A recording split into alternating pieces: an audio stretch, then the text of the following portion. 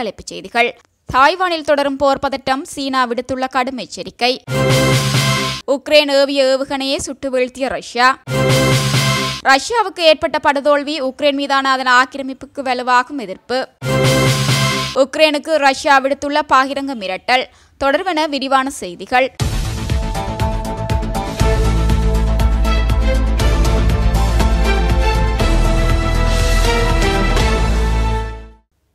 தாய்வானை சுற்றி வளைப்பது போன்று மூன்று நாள் போர் ஒத்திகையை சீனா ஆரம்பித்துள்ளது. தாய்வான் ஜனாதிபதி அமெரிக்க விஜயத்தை முடித்துக்கொண்டு திரும்பிய சில மணி நேரத்தில் சீனா இந்த ஒத்திகையை ஆரம்பித்துள்ளது. தாய்வானை சீனா சொந்தம் கொண்டாடும் போக்கு நாளுக்கு நாள் அதிகரித்து கொண்டே வரும் நிலையில் சுதந்திர தீவு நாடாக அறிவித்துக் கொண்டுள்ள தாய்வான் தொடர்ந்து அமெரிக்காவுடனான நட்புறவை வளர்த்துக் கொள்ள தீவிரம் காட்டி வருகிறது. அந்த வகையில் அமெரிக்காவின் வலுவான ஆதரவு வேண்டி தாய்வான் ஜனாதிபதி சாயிங் பென் கலிபோர்னியாவில் அமெரிக்க சபாநாயகர் கெவின் மெக்கார்த்தியை சந்தித்து பேச்சுவார்த்தை நடத்தினார். சீனா தாய்வானுக்கு அருகில் அடிக்கடி ஒத்திகையில் ஈடுபடுகின்ற போதிலும் இம்முறை சுற்றிவளைப்பு ஒத்திகை தாய்வான் ஜனாதிபதியின் சீன விஜயத்துக்கான பதிலடியாக காணப்படுகிறது. இந்த ஒத்திகையின் போது தாய்வானை சுற்றி ரோந்து நடவடிக்கைகள் போன்றவற்றில் ஈடுபடுவது போல ஒத்திகைகள் இடம்பெறும் என தெரிவித்துள்ள சீன ஊடகங்கள் அதனை சுற்றி வளைப்பது போலவும் ஒத்திகைகள் இடம்பெறும் எனவும் குறிப்பிட்டுள்ளன. இது தொடர்பாக சீனாவின் மக்கள் விடுதலை ராணுவத்தின் கிழக்கு கட்டளை வெளியிட்டுள்ள தகவலில் ஒருங்கிணைந்த கூர்மைப்படை ஏப்ரல் எட்டாம் தேதி முதல் பத்தாம் தேதி வரை போர் ஒத்திகையை முன்னெடுக்கும் என தெரிவித்துள்ளது. மேலும் இந்த போர் பயிற்சி தாய்வான் பிரிவினவாத படைகளுக்கு எதிரான கடுமையான எச்சரிக்கை என்றும் சீன ராணுவம் தெரிவித்துள்ளது. இதனைத் தொடர்ந்து பதிமூன்று சீன போர் விமானங்கள் மற்றும் மூன்று போர்க்கப்பல்களை தீவை சுட்டி கண்டதாக தாய்வான் பாதுகாப்பு அமைச்சகம் தெரிவித்துள்ளது. அத்துடன் சீனாவின் இந்த செயல் பிராந்திய நிலைத்தன்மை மற்றும் அதன் பாதுகாப்பில் அச்சுறுத்தலை ஏற்படுத்துவதாகவும் தெரிவிக்கப்பட்டுள்ளது. இதற்கிடையில் கிழக்கு புஜியன் மாகாணத்தின் கடற்கரையில் சீனா திங்கட்கிழமை காலை ஏழு மணி முதல் எட்டு மணி வரை நேரடியான துப்பாக்கிச்சூடு பயிற்சியை மேற்கொள்ளும் எனவும் மாகாண கடல்சார் ஆணையம் தெரிவித்துள்ளது.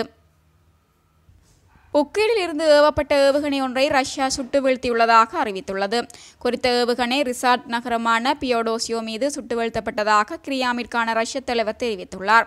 இந்த ஏவுகணை தாக்குதலால் சேதம் எதுவும் ஏற்படவில்லை எனவும் அறிவிக்கப்பட்டுள்ளது. கடந்த இரண்டாயிரத்தி பதினான்காம் ஆண்டு உக்ரைனிடமிருந்து கிரிமியா பகுதியை ரஷ்யா அணித்துக் கொண்டது. இந்த விவகாரம் சர்வதேச கண்டத்திற்கு உள்ளது. இந்நிலையில் தற்போது நடைபெற்று வருகின்ற போரில் இந்த பகுதியை மீட்கப் போவதாக உக்ரைன் சூளுரைத்துள்ளமை குறிப்பிடத்தக்கதாகும்.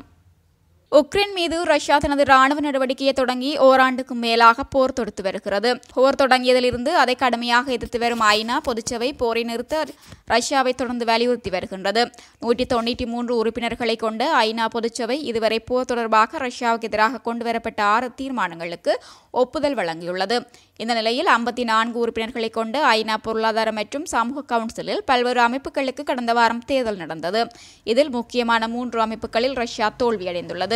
பெண்களின் நிலை குறித்த ஆணையத்தில் இடம்பெறுவதற்கான தேர்தலில் ருமேனியாவிடம் ரஷ்யா தோல்வியடைந்துள்ளது.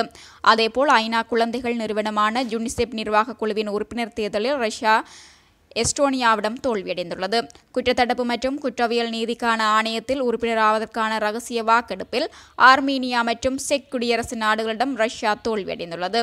ரஷ்யாவின் இந்த தோல்வி உக்ரைன் மீதான அதன் ஆக்கிரமிப்புக்கு எதிர்ப்பு வலுவாக உள்ளது என்பதற்கான தெளிவான அடையாளம் என அமெரிக்க தூதர் லிண்டா தாமஸ் கிரீன்ஃபீட் தெரிவித்துள்ளார். தானிய ஒப்பந்தத்தை ரத்து செய்வது தொடர்பில் ரஷ்யா உக்ரைனுக்கு பகிரங்கமாக மிரட்டல் விடுத்துள்ளதாக தகவல் வெளியாகியுள்ளது. இதற்கமைய தனது ஏற்றுமதிக்கான தடை நீடிக்குமானால் உக்ரைனுடனான கருங்கடல் தானிய ஒப்பந்தத்தை ரத்து செய்யப்போவதாக ரஷ்ய வெளியுறவு அமைச்சர் செர்கோ லாவ்ரோப் தெரிவித்துள்ளார்.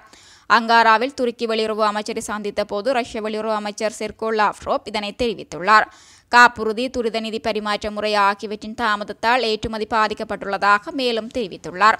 இதன்போது மாஸ்கோவின் வேண்டுகோளுக்கு ஏற்ப தடைகளை அகற்றி மே மாதத்துக்கு பிறகு தானிய உடன்பாடு தொடர வழியமைக்க துருக்கி உறுதியளித்துள்ளது. உலகில் உணவு தட்டுப்பாடு பிரச்சினையை சமாளிக்க கருங்கடல் தானிய ஒப்பந்த உறவுகின்றமை குறிப்பிடத்தக்க விடயமாகும்.